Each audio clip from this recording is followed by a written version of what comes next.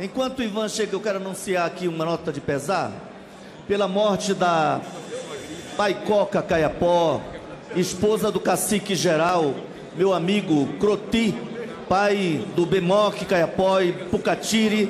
Ela que tinha um problema crônico do pulmão, faleceu hoje. Minha solidariedade à família da Baicoca. Grande liderança indígena, uma mulher de luta, uma guerreira Caiapó. Obrigado.